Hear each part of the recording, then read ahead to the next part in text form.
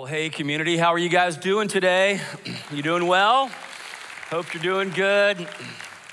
Want to welcome everyone in the room today. Want to welcome those of you that are watching online, and you know the drill. Let's welcome our Pompano Beach campus. We love you guys, and some good things are coming your way. I mean, Pompano, you're seeing the renovation really take shape. I mean, paint on the walls and carpets going down, and we're getting real close. So excited about that. So, well, tonight is the Super Bowl, and last week I said that I was going to make a prediction of the winner of the Super Bowl based on the Bible. Now, I've been doing this for 15 years now, and I look at the Word of God and I try to discern based upon Scripture which team will be the winner of the Super Bowl. Now, this year, the two teams that are playing are the Philadelphia Eagles and the Kansas City Chiefs. So I want you guys to give a shout out to your favorite team, the team that you're pulling for, you're rooting for. So, how many of you are pulling for the Philadelphia Eagles? Let's hear it.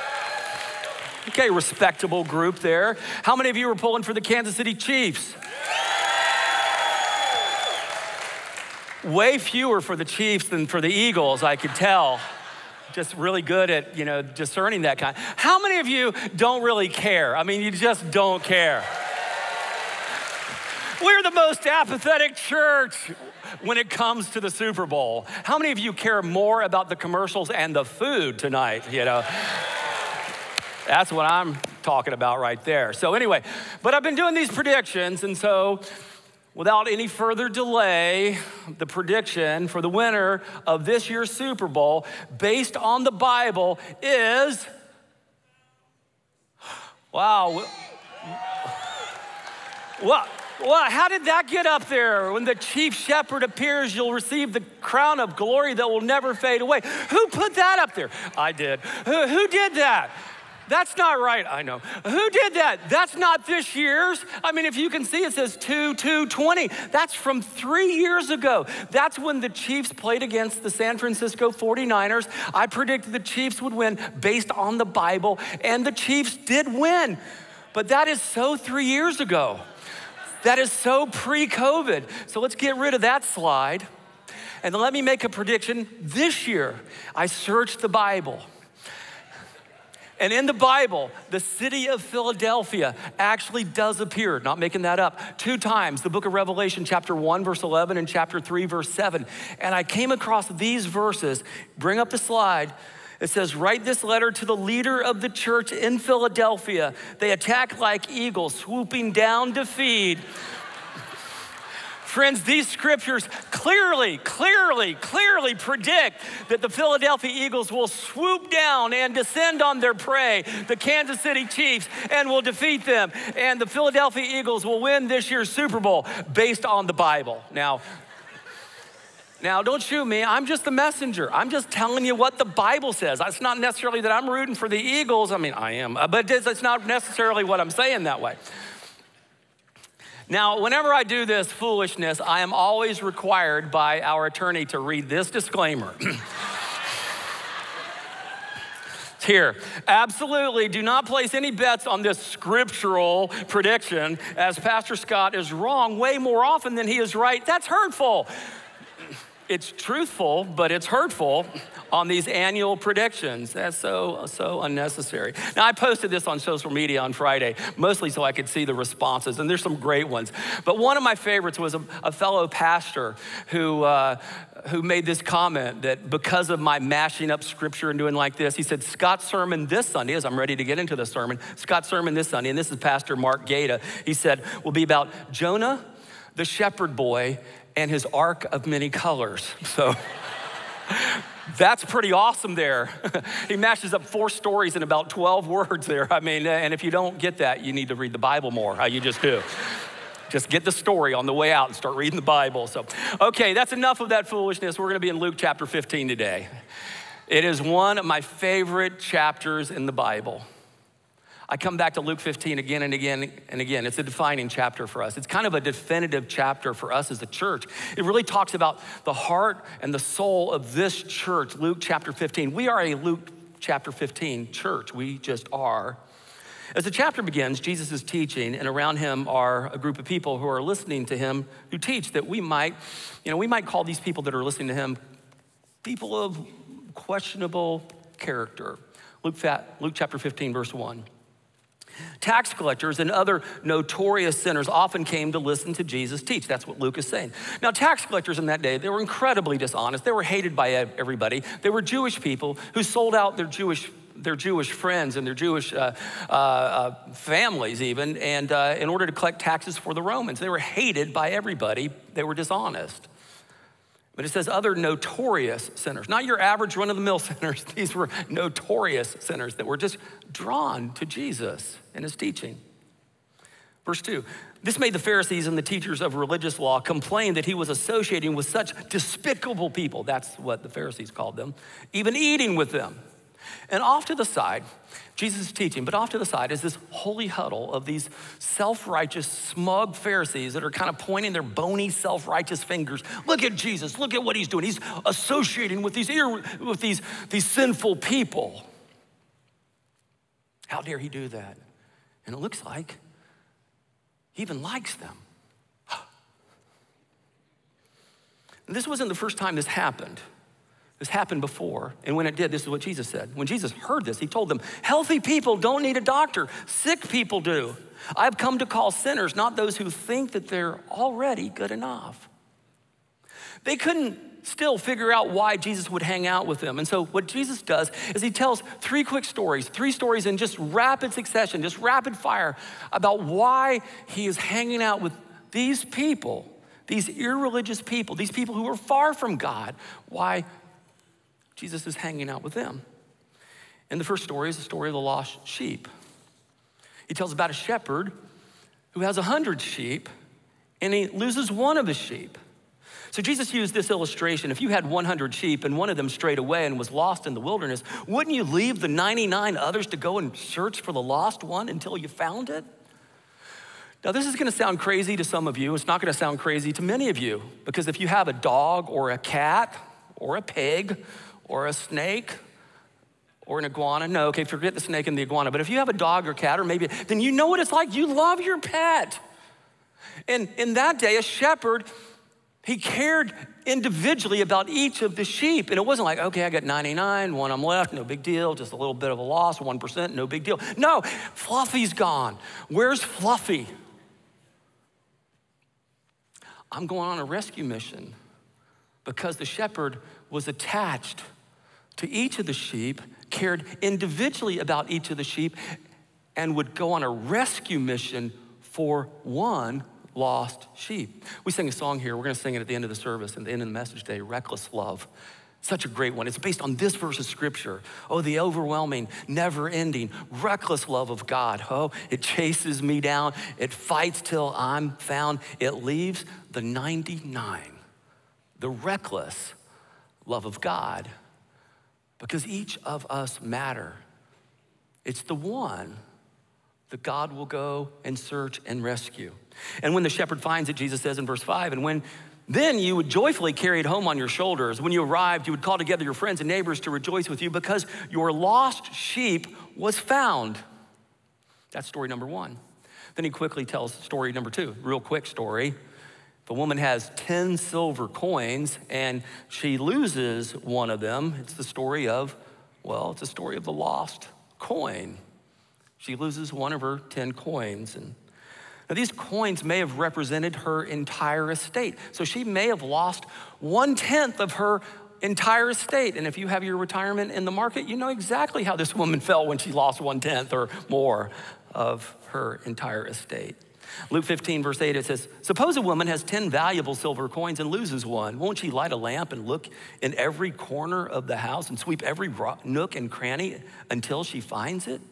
Now, what would you do? Probably the same thing. That's what I would do if I lost something of value like that. I mean, she lights a lamp, she sweeps, she dismantles the house, she's searching diligently to find that lost coin. And in verse 9, and when she finds it, she'll call on her friends and neighbors to rejoice with her because she's found her lost coin. And then Jesus tells a third story. This is the most famous story of all. One of the most famous stories in the world. It's a story of a father who loses his son. It's the lost son. It's also known as the parable of the prodigal son. Verse 11, to illustrate the point further, Jesus told them this story. A man had two sons. Now, there's some tension that's going on between the father and one of the sons. There's no question about that. I heard about a teenager who said, Hey, dad, I'm going to the party. And the dad said, Well, have a good time. He said, Look, dad, you don't tell me what to do. Evidently, there's a little bit of tension going on there. And some of you might, that might be a flashback for you. Verse 2 The younger son told his father, I want my share of your estate now, instead of waiting until you die. So his father agreed to divide his wealth between his sons. Now, I gotta tell you, that's a pretty gutsy request. Dad, I, you know, I kind of want my inheritance, and I don't wanna wait till you're dead, so I, could I have it now? Pastor Wayne Smith used to say, Where there's a will, there's a relative. I mean, there is, and some of you know the truth of that. I mean, you just know that to be true. There's a little five year old went to his grandfather and said, Grandpa, can you make the sound of a frog? And his grandfather said, What do you mean? Where did you hear that I could make the sound of a frog? He said, Mommy said, I heard her tell daddy that we're all gonna be rich when you croak. And that's just not right, being a pop pop myself. True story. This is about three years ago. Jeremiah, our oldest grandson, is turning eight in May. I don't know, it's three or four years ago. It's a family vacation. His uncle Chris was there, and Chris evidently had told Jeremiah to come to me. And Jeremiah said, Pop Pop, can you make the sound of a frog? Jeremiah did not know what was going on. I just looked at Chris and I said, You are out of the will, young man. Where there's a will, there's no relative in our family. There's just not. It's just not going to happen. So, so in this story, Jesus told the younger son he, who wants his inheritance up front. He says a few days later, this younger son, he packed all of his belongings and took a trip to a distant land. And there he wasted all of his money on wild living. Doesn't take a lot of imagination to kind of see what's going on here. I mean, this son, he heads for the neon lights of the lost Baghdad Strip. I mean, a few years ago, an archaeologist discovered a, uh, an ancient scroll that reads, What happens in Baghdad stays in Baghdad. And so there, there's that. It was this wild, sensual spree, and the father's heart just breaks because he knows what's in store for his son. He's just going to get chewed up and spit out by the life that he's chasing. And he's just going to be destroyed by his own sin, by his own choices. And many parents identify with this story. Any of us? Identify with his story? I, I do. Then one day, when his son loses his integrity, and then when he loses his money, and when his money's gone, his friends are gone. The Bible says he finally came to his senses, verse 17. And he came to his senses on a pig farm, and he heads home, and his father's out scanning the horizon. And this next verse is one of my favorite verses in the Bible. Luke chapter 15, verse 20. It says, But while he was still a long way off, his father saw him and he was filled with compassion for him. And he ran to his son. He threw his arms around him and he kissed him. Now, it was a few years ago that I did an, a five week series just on the parable of the prodigal son. So there's so much that I could say about this, but I will say this this is the only place in scripture where God is ever pictured as running. It's when God ran. And again, this is a story that Jesus is telling. It didn't actually happening. Jesus is telling this story. He's telling us this story about himself that when he sees a child who's been far off from him, he will run to them and wrap his arms around them and then welcome them home. And friends, in that day, old men did not run, it was disrespectful. And Jesus is picturing this father who runs to his son, unheard of. And the listeners are hearing this and they're going, they just can't believe what they're hearing in this story. But Jesus wanted to be clear. This lost child, this lost son, matters deeply. And then he welcomes them home. Verse 23 Bring the fattened calf and kill it. Let's have a feast and celebrate. For the son of mine was dead and is alive again. He was lost and is found. And friends, with three quick stories, he was trying to explain to these religious leaders why. Why he would spend time with people of questionable character. Why he was hanging out with these non believing, irreligious, yes, sinful people. And with these three stories, Jesus was also communicating three truths, three truths that are very important. These are three truths that drive us as a church. We are a Luke 15 church. These are three truths that drive us. And the first one is that something valuable is lost. Just as the sheep was valuable to the shepherd, the coin was valuable to the woman, and the son was valuable to the father. And Jesus wanted to communicate to these religious leaders, these people that I'm hanging out with, they're valuable. They matter. They matter to God. Every person matters. That's why Jesus, one time, he struck up with a conversation with a woman at a well who'd been married five times, and she was living with a guy who wasn't her husband. And he went out of his way to talk to her, to have this conversation. All the other men in her life looked at her like they wanted to get something from her. Jesus looked at her because he wanted to give her something. John 4:10, Jesus replied, "If you only knew the gift God has for you and who I am, you would ask me, and I would give you. I would give you living water." This is why Jesus had a conversation one night, halfway through the night, with a wealthy, spiritually seeking man by the name of Nicodemus, who hadn't been able to find his self worth through his net worth. This is why one of the last things that Jesus did before dying on a cross is he turned to a thief who was next to him, who didn't matter to anybody. He said, Today, today you will be with me in paradise because people matter. Something valuable is lost. Here's an important truth that drives us every human being is valuable to God, every single one. You matter to God. You may not think that you matter to people in your neighborhood, or you matter to people at work, or you, maybe you don't even think you matter really to people in your family. You matter to God. You matter to God. Truth number one. Second truth Jesus wanted to communicate from these stories, it grows out of the first. Because something valuable is lost, we must aggressively search for it. The shepherd, he kept searching for that lost sheep. The woman lit a lamp and she swept the house. She dismantled the house. She turned up the house inside out, upside down. And the father, well, he was kind of in a tough spot. The father couldn't go searching for his son because his son was rebelling from the father. That wouldn't do any good. So, what does the father do? He just creates an environment, an environment of home, an environment that is, that is so warm, that is so inviting, that is so compelling, that is so magnetic that the son would know that when he goes home, that there's no embarrassment, there's no shame, there's no judgment, there's just love. There's just love. And that's what the father does, and that's why the son came home. Now, the third truth that Jesus wanted to communicate is that when the lost is found, there is always rejoicing. There is much rejoicing when the lost is found.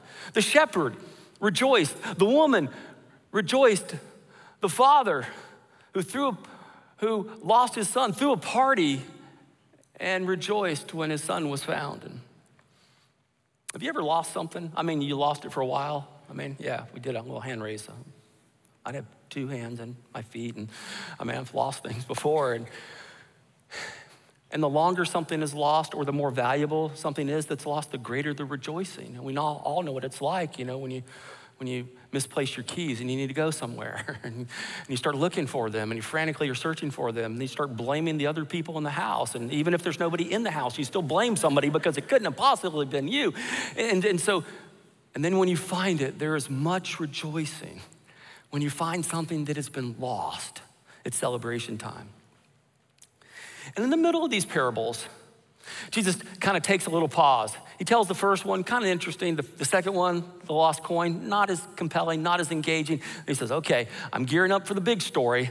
It's the lost son. But before he does, he takes a step out of the imagery. He takes a step out of the parables. And then he makes this statement, which is a statement of fact. It's not imagery now, it's just a statement of fact. It's Luke 15 10. It's before the parable of the lost son. He says, And in the same way, I tell you, there's rejoicing in the presence of the angels of God over one sinner who repents.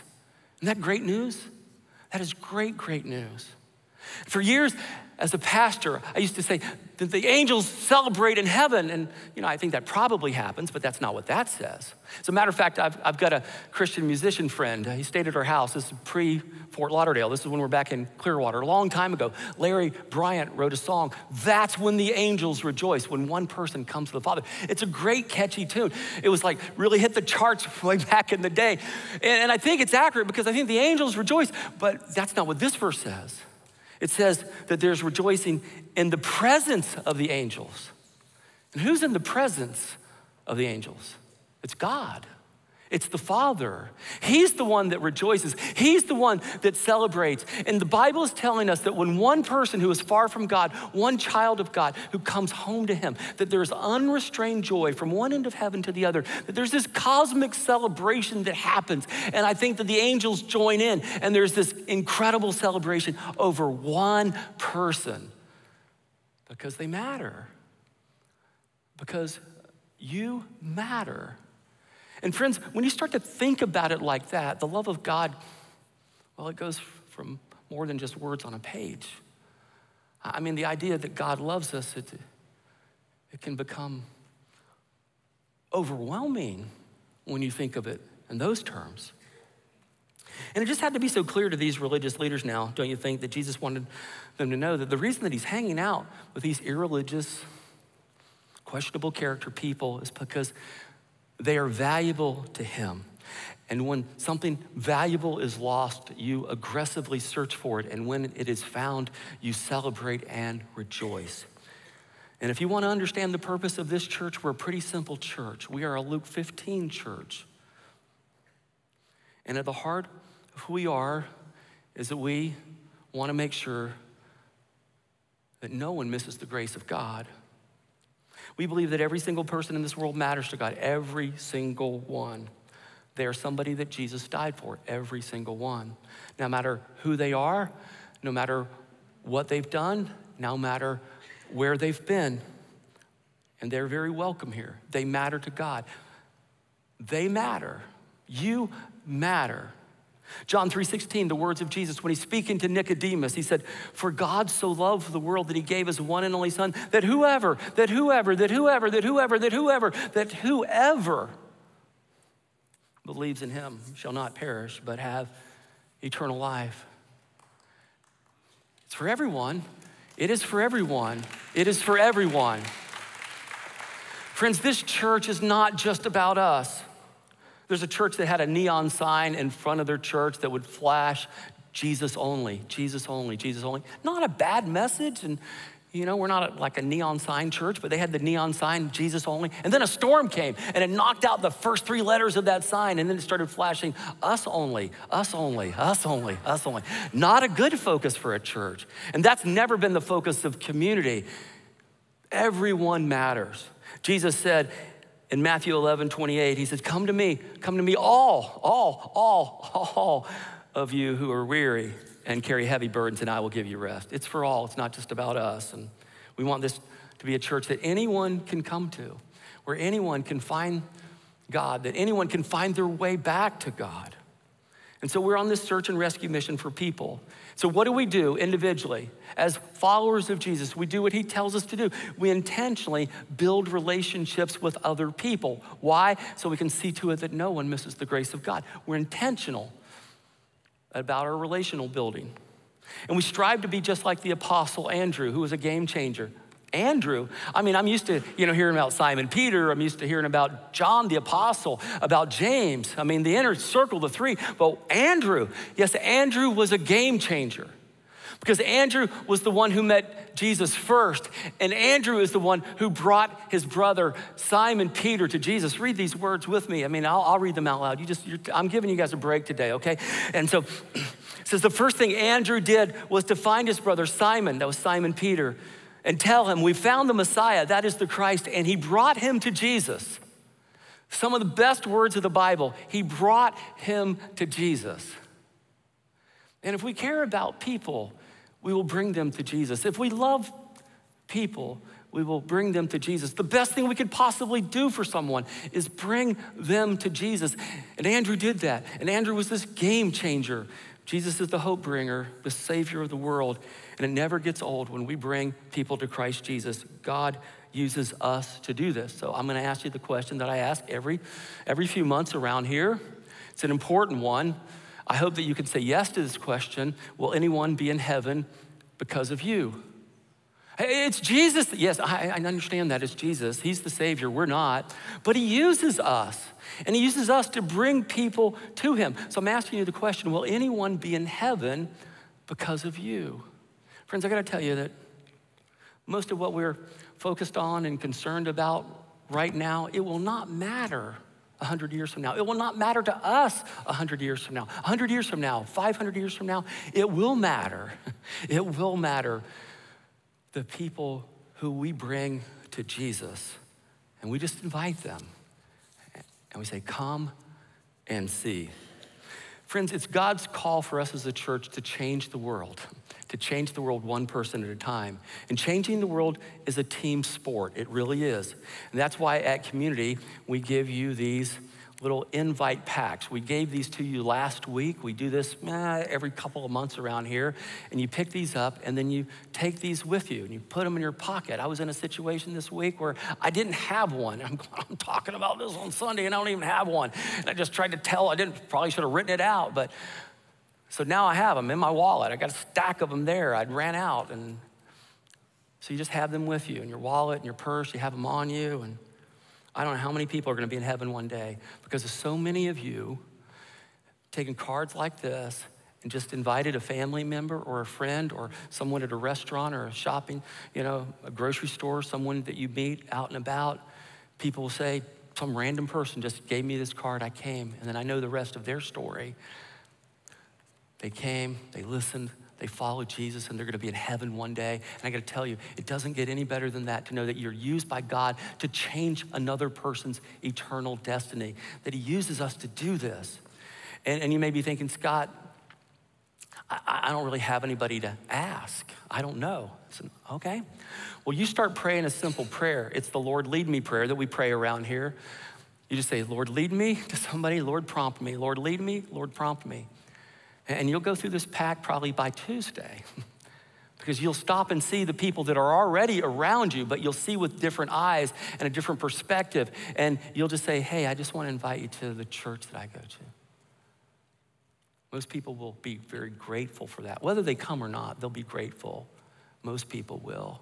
So, on your way out today, in all of our lobbies, they're gonna be there. They're gonna be on tables, they're gonna be in different places. You're probably gonna have to walk over them. I mean, you're gonna have, I mean, we're gonna make them very convenient so that you don't miss them on your way out today because we want to be in this together. We wanna change the world together. So, take these cards. Same thing last week I mentioned, and I, you know, if I would have thought ahead, I probably wouldn't have mentioned it last week, but it's two weeks in a row, so you can know how important this is have a community decal or a community car magnet on the back of your car.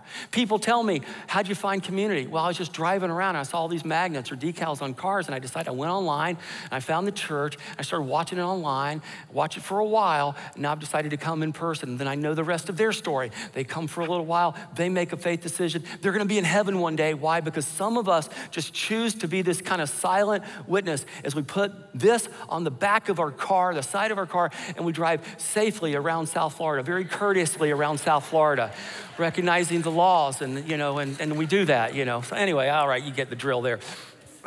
It can be a positive, it can be a negative, but anyway. So these are gonna be around there. And it might be, and the good thing is it's not just a silent witness, this can tee up a conversation. Somebody in your neighborhood's driving by, they see your car in your driveway, or, or they, or they see your car at work and they go, What's that? So, oh, it's the church I go to said, Yeah, you ought to come. As a matter of fact, I have a, an invitation here. Let me invite you.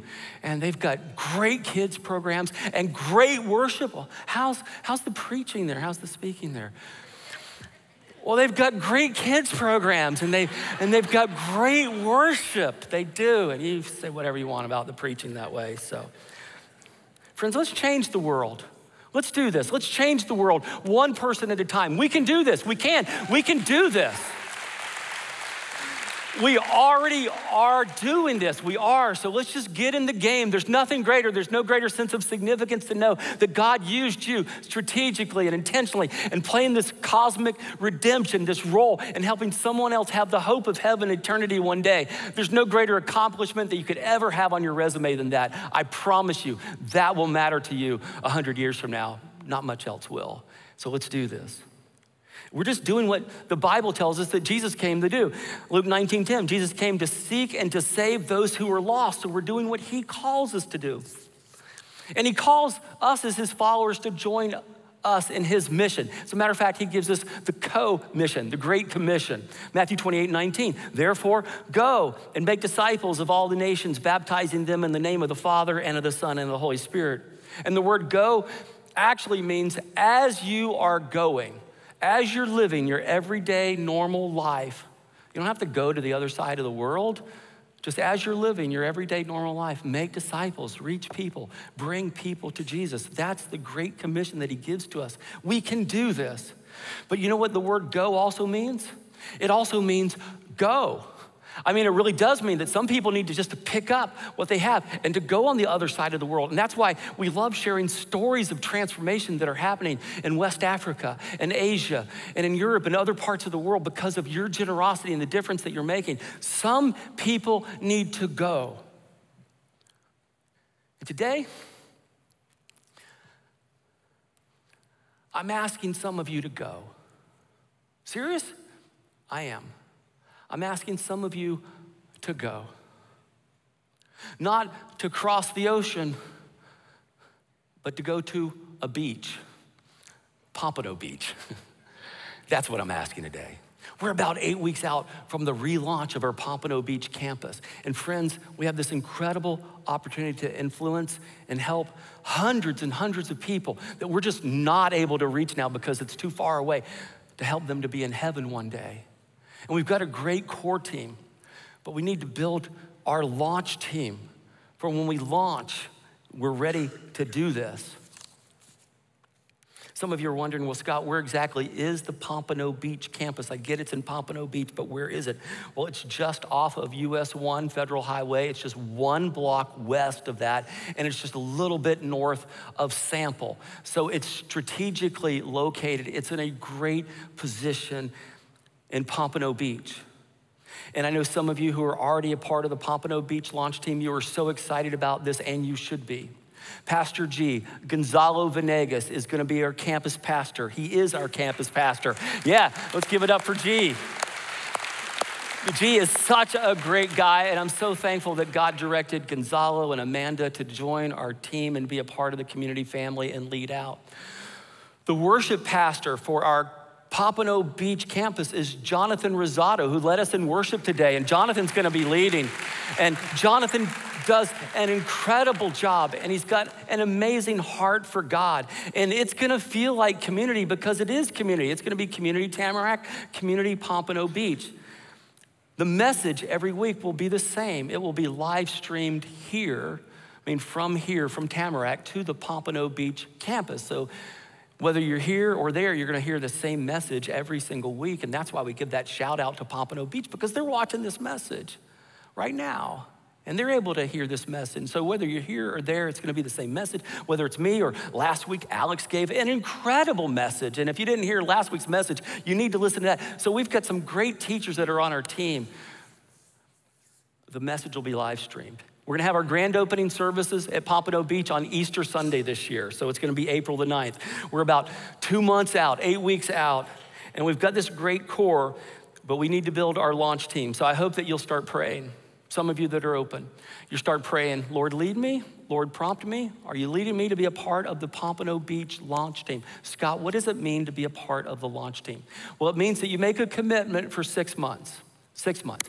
You make a commitment for six months to either just worship there like you're doing, but you worship there rather than here. Why? Because we, we need to have the critical mass. We need to have the energy that's there when new people are coming, that it feels like this alive and vibrant church. And so we need some people to say, you know what, I'll worship there you know, for six months. And we need others to say, yeah, I'm not only going to worship there, but I'm going to serve there for six months. And so you make the commitment you're going to serve maybe in guest services or you're a greeter, or you're on the, the parking team or you work in kids ministry or tech or whatever. We need people to worship. We need people to serve for six months. And, and, and that's what that means. And then the end of your six month commitment, some of you, you're gonna decide, you know what, I made my commitment, I fulfilled it, now I'm gonna come back to the Tamarac campus, and, and this is where you're gonna stay. You're gonna sense that God's directing you back here. Others will say, you know what, I love being in Tamarac, but I kind of was on the sidelines. But here, I'm in the game. I'm making a difference. I'm serving. I'm going to stay at Pompano. And, and God is going to be honored by those who come back and by those who stay. But it's for a six month commitment.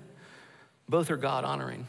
Now, next Sunday, at 12:30 p.m., right after our second worship service. Starts at 11:15, goes to 12:15. Well, we know 12:20, 12:25, but right after around 12:30, upstairs in the loft of this building where we have our starting point lunches, there's going to be a Pompano Beach launch team meeting.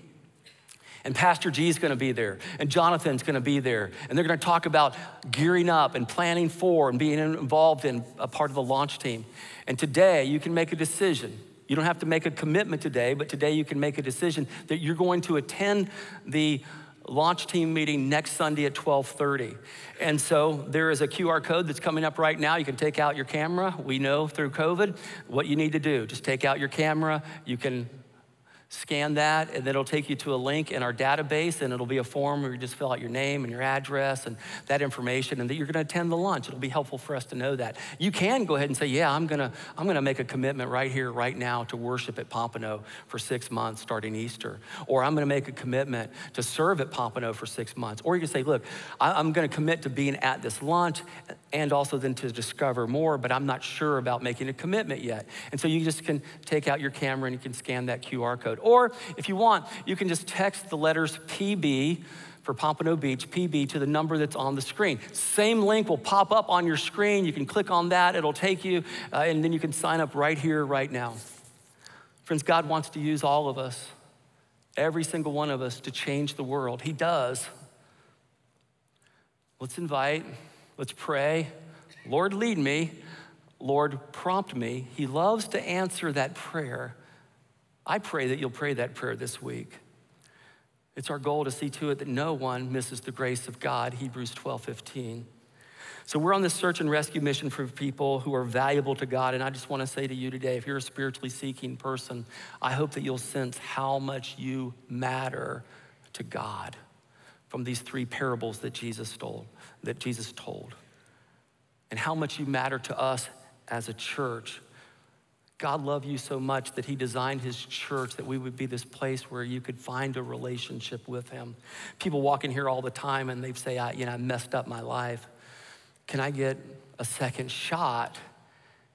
And through God's grace, the answer is yes. Through Jesus, the answer is absolutely yes. And I, I, loved playing football. I played when I was a little kid in elementary school. I played in junior high. I played football in high school. One of my favorite things to do is not just play on a team, but just play in the neighborhood. And when we would play in the neighborhood, usually we would just have two guys on a team. We didn't have a lot of kids in our neighborhood. And, and we'd play on a street, and we would have this, would like, you know, maybe do like a quick, like, fake, you know, pump fake, like a little down and out, and the, and the defensive back would kind of bite and come in, and then the, your buddy would go long, and you would just wait, and you'd come back, and you'd just throw the ball, and it'd be hanging up in the air, and then it would it hit like a telephone wire, and it would go boom.